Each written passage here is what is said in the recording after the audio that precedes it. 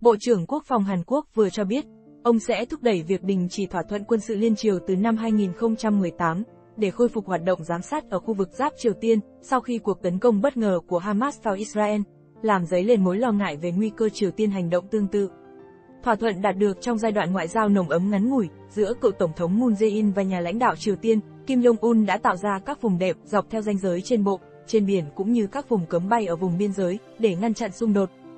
Phát biểu với báo chí tại Seoul, Bộ trưởng Quốc phòng Hàn Quốc Shin Won-sik viện dẫn tình hình bạo lực ở Israel và giải Gaza để nhấn mạnh sự cần thiết phải tăng cường giám sát Triều Tiên. Ông Shin vừa được Tổng thống Yoon suk yeol bổ nhiệm vào cuối tuần qua. Ông Shin đặc biệt chỉ trích các vùng cấm bay của thỏa thuận liên triều, cho rằng điều này ngăn cản Hàn Quốc sử dụng đầy đủ thiết bị giám sát trên không khi các mối đe dọa hạt nhân của Triều Tiên gia tăng. Mối quan hệ giữa hai miền Triều Tiên xấu đi, sau khi tiến trình đàm phán giữa Washington và Bình Nhưỡng sụp đổ năm 2019. Triều Tiên sau đó nối lại hoạt động thử tên lửa. Chính quyền của Tổng thống Yoon hiện nay có quan điểm cứng rắn hơn với Bình Nhưỡng so với người tiền nhiệm ôn hòa. Ông Shin cho biết, dù Hàn Quốc sẽ phải trải qua một quy trình pháp lý phức tạp để từ bỏ hoàn toàn thỏa thuận, nhưng việc tạm dừng thỏa thuận sẽ chỉ cần quyết định từ cuộc họp của nội các. Hamas đã tấn công Israel và Hàn Quốc đang phải đối mặt với mối đe dọa mạnh mẽ hơn nhiều, ông Shin nói. Để chống lại mối đe dọa đó, chúng tôi cần quan sát các hoạt động quân sự của Triều Tiên bằng các thiết bị giám sát của mình để nắm tình hình xem liệu họ có đang chuẩn bị hành động khiêu khích hay không. Nếu Israel điều động máy bay và máy bay không người lái để duy trì hoạt động giám sát liên tục, tôi nghĩ họ có thể đã không bị tấn công như vậy, ông nói.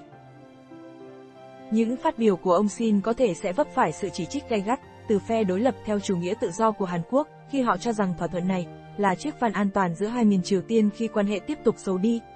Chưa có cuộc xung đột lớn nào giữa hai miền Triều Tiên, kể từ khi hai bên đạt được thỏa thuận vào tháng 9 năm 2018. Tuy nhiên, tháng 11 năm ngoái, Hàn Quốc cáo buộc Triều Tiên vi phạm các điều khoản về giảm căng thẳng trong thỏa thuận khi Bình Nhưỡng bắn tên lửa gần một hòn đảo đông dân cư của Hàn Quốc gần biên giới biển, khiến hệ thống báo động kích hoạt và buộc người dân phải sơ tán.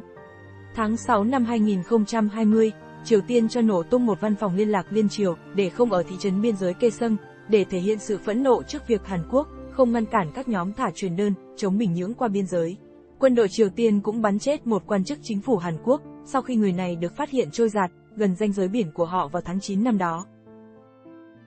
Căng thẳng trên bán đảo Triều Tiên hiện nay đang ở mức cao nhất trong nhiều năm, khi tốc độ phô diễn vũ khí của Triều Tiên và hoạt động tập trận chung của Mỹ với Hàn Quốc và Nhật Bản đều gia tăng.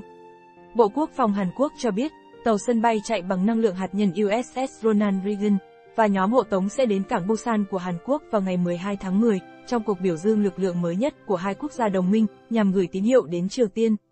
Bộ này cho biết, nhóm tàu sân bay đã triển khai huấn luyện chung với lực lượng hải quân Hàn Quốc và Nhật Bản trong hai ngày đầu tuần này tại vùng biển gần đảo Jeju. Trong một bài xã luận đăng ngày 9 tháng 10, báo Joang Ilbo của Hàn Quốc kêu gọi Seoul rút ra bài học từ những thất bại của Israel trong việc ngăn chặn cuộc tấn công của lực lượng Hamas, đồng thời tăng cường khả năng sẵn sàng đối phó nếu Triều Tiên tấn công.